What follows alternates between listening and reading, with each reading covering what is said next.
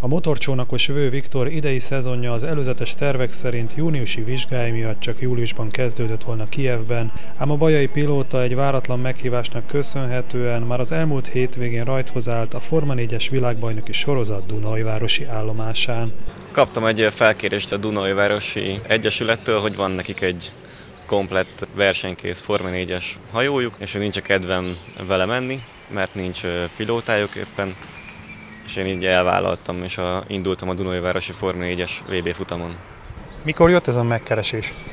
Hát körülbelül verseny előtt egy két héttel. Utána egy időpontot adtak, hogy előtte való hétvégén kipróbálhassam a hajót.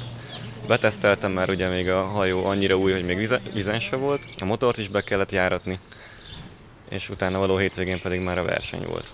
Az előzetes tervekkel ellentétben a Forma 4-esek mind a négy futamát vasárnap bonyolították le, ahol Viktor 10., 11. és 12. helyezést ért el, valamint a harmadik futam volt technikai problémák miatt kiállni kényszerült. Az egyik versenyző ütközött a hajójával, és a darabok beestek a vízbe, én nem láttam, és átmentem az egyik darabon, és beszorult a fartőke és a propeller közé, és így kiállni kényszerültem. Az összetett eredményem az 12. hely volt. Én azt gondolom, hogy jó, mert a hajóhoz egy darab propellert kaptunk, aminek nem volt jó a rajtja sem, és a bójáktól se tudott olyan rugalmasan eljönni, mint a többi versenyzőnek a hajója. Én a legjobbat kihoztam belőle, örülök, hogy megkerestek ezzel, és tetszett az egész hétvége.